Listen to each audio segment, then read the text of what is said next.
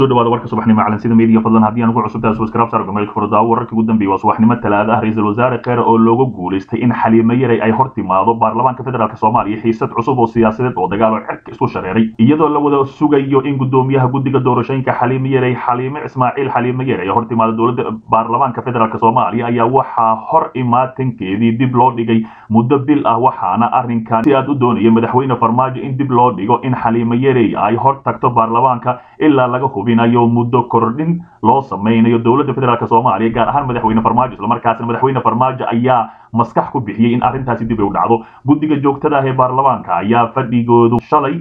go'aan ku gaaray dib loo dhigayo in guddoomiye xaliimo yaray ay hor timaado baarlamaanka federaalk soomaaliya si loo ogaado goorta ay dhacayso doorashada iyo qaabka ay noqonayso labada labadaba. Madaxweyne farmaajo oo garabka helaya guddoomiye ku-xigeenka baarlamaanka federaalk soomaaliya cabdiweli muude iyo guddiga doorashooyinka ee labada aqal ayaa kaga guulaystay arrimo xasaasi ah oo la rabo in baarlamaanka ay ka doodaan waxaana shalay sida la filayay isbedelaya jawiga siyaasadeed ee dalka iyadoo laga cabsi qabo in in haddii uu muddo kordhin aan sharci ahayn uu sameeyo madaxweyne farmaajo ay ka dhalan doonto mudaharaadyo rabshado wata islamarkaasina siyaasadda aad u kici doonto. Waxaa arbacadii hore kulan dhex maray madaxda baarlamaanka federaalk soomaaliya dood kulul islamarkaasina sababay inay si kulul u oo anshaxa ahayn iskula hadlaan. Guddoomiye ku-xigeenka koowaad ee golaha baarlamaanka federaalk soomaaliya cabdiweli sheekh ibraahim muudo iyo guddoomiyaha labada kole ee baarlamaanka federaalk soomaaliya dooda iyo hadallada kulul ee dhex maray mas'uuliyiinta ayaa sababay in dhammaan muuqaaladii laga tirtiro wariyaashii xarunta ku sugnaa iyo kuwa muuqaalada duubayay oo xarunta baarlamaanka ka tirsanaa. Wararka ay heshay calinsida media ayaa sheegaya in mas'uuliyiinta ay isku khilaafeen arrimo quseeya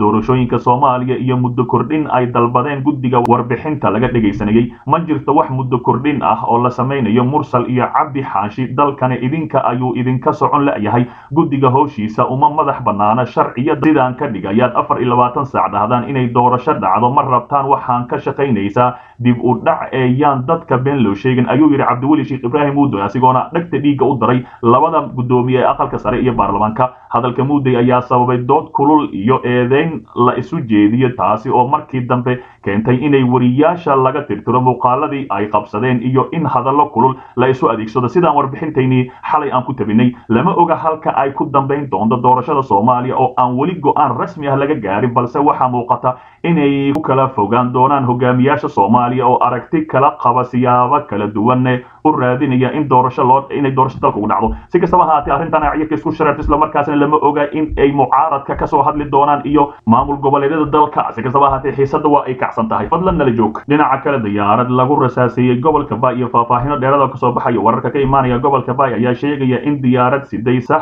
saxay gargaara ee shalay lagu rasaaseeyey deegaanka qansax dheere xilli ay doonaysay inay halkaasi ku degto sida sheegeen warar kala duwan islamarkaasina warbaahinta la soo marsiiyey. Diyaaradda ayaa waxaa ku dhacay rasaas fudud waxaana shilkii uu dhacay wax yar kadib laba iyo tobankii duurnimo ee shalay. Wararku waxay sheegayaan in diyaaraddu ay markii dambe ka soo kacday qansax dheere islamarkaasina ay ku soo laabatay magaalada muqdisho. Diyaaradda ayaa qansax dheere geysay gargaar nafaqada leh ee loo waday dumarka iyo carruurta halkaasi jooga. Ilaa hadda ma cadda sida ay wax u dhaceen ma jirto cid wax ka noqotay diyaaradda. Inkastoo oogada diyaaradda ay rasaas ka muuqato islamarkaasina ay hubisay. Mid ka mid ahi saraakiisha maamulka gobolka koonfur galbeed ayaa v o eda u sheegay in loo malaynayo in ay al-shabaab rasaasta ku fureen diyaaraddaasi bishaan horaanteedii ayay ahayd markii ku dhacday bardaale taasi oo ay ku dhinteen lix qof oo mas'uuliyiinta maamulkaasi ayaa sheegay inay ciidamada etoobiya rasaasayeen diyaaraddaasi waxaana haatan socdo baaritaan walow oo inta badan la xaqiijiyay in ciidamo aan ka tirsanayn amisom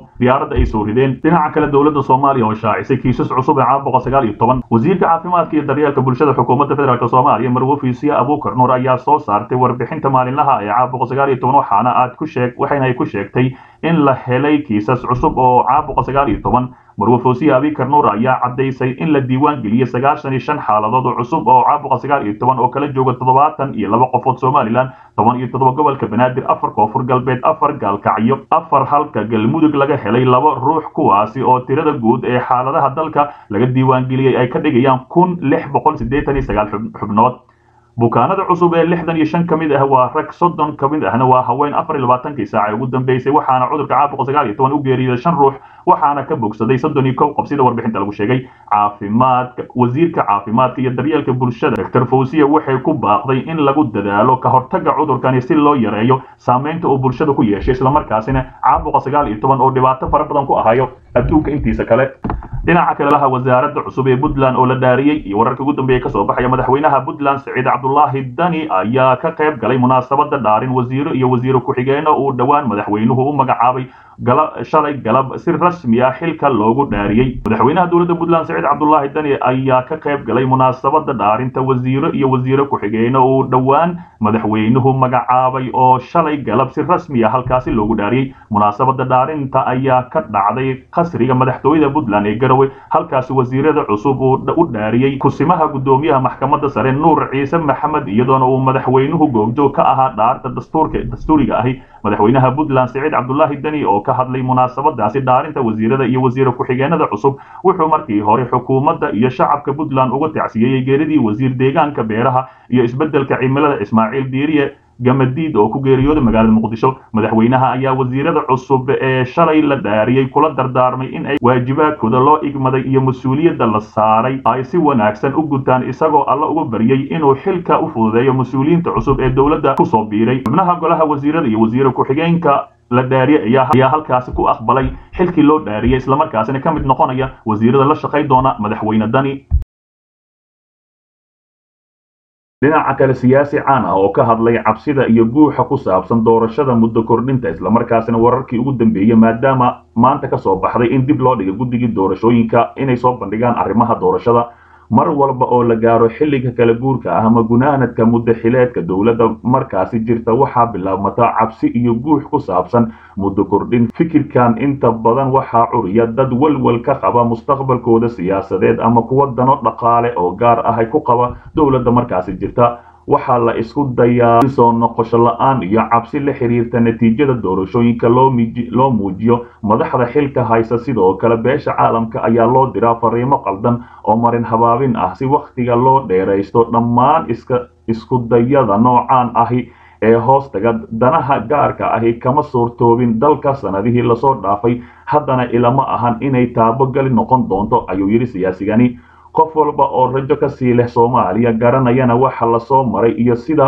dowladnimadu halka ay ku timid kuma fakarayo inuu muddo korarsi samaysto. Haddii madaxweyne federaalka go'aansadaan inay sumcaddooda sarriftaan qarankana ka leexiyaan dhabihii qori isku dhiibka iyo wixii laga heshiiyey looma sinaan doono mas'uuliyadda wixii naga hallaaba dhammaanteen waajib ayaa naga saaran in la helo xasilooni siyaasadeed doorasho xilligeedii ku dhacda iyo in xukunka la isugu wareejiyo si nabad ah maadaama xukuumadda ku guul daraysatay shaqadii loo diray oo ahayd diyaarinta doorasho qof iyo cod ahi oo xilligeeda ku qabsoonto ma habboona in xilligaani lagu fakaro waxyaabo baalmarsan dastuurka iyo shuruucda dalka u yaalla xog ogaal ayaa u nahay waxa dalka ka socdo dhaqanka wanaagsan. Wuxuu sheegayaa in qofkii qirto gaabiskiisa iyo wixii aan socon karin kadibna laga wada hadlo sida ugu fudud ee lagu gaari karo yoolka saxda ahi doorasho guud. Laakiin cidna uma suurtogeli doonto inay meel mugdi ah ku rido masiirka iyo rajada dowladnimada soomaaliya. Muddo kororsiga ayuu yidhi